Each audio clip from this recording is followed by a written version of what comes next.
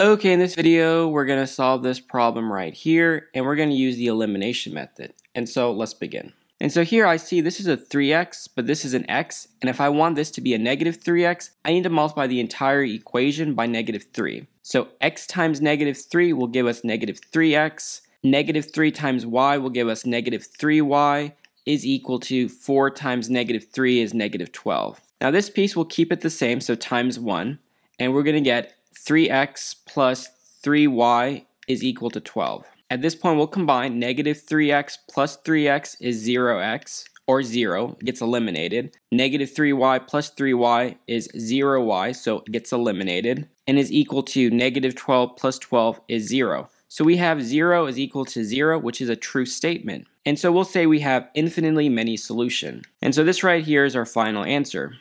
And so what exactly does this mean? Let's say, for example, I say x is equal to 1.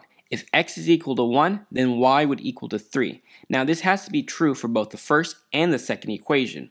Obviously the first one works. 1 plus 3 is 4. But let's try the second one. 3 times 1 is 3, plus 3 times 3 is 9, 3 plus 9 is 12. That's correct. However, I can change it. I can say x is equal to 0. If x is equal to 0, then y is equal to 4. And so if I put a 0 here, 0 plus 4 is 4. That's correct.